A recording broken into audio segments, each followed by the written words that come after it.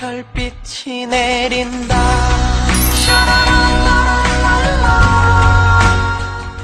울고 싶지 않아. 울고 싶지 않아. 나 토요일 날 제가 술 먹방을 했잖아요. 막 불토니까 혼자 신나가지고. 음, 기분 좋아. 이모니 덕분에 그래가지고 제가 토요일 날 아 진짜 오늘은 뭔가 생길 것 같다. 불타는 토요일이다 해가지고 술을 왕창 먹었잖아요.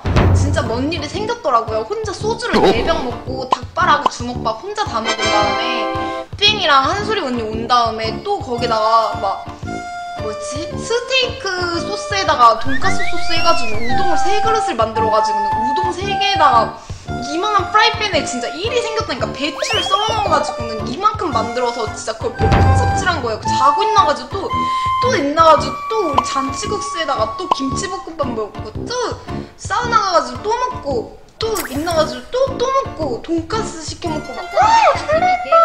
정말 일이 생겨서 체중이 3kg가 쪘다니까요? 뭔 일이 주말에 생기나 했더니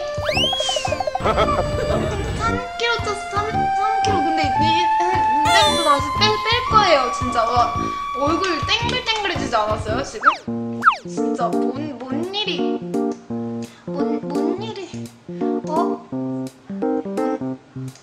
아, 저 컴퓨터 프로그램 날다가 고장. 그래서 2, 3일 연속으로 먹기만 했더니 어쩌냐고요?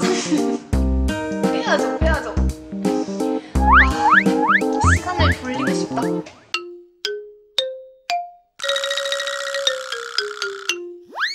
you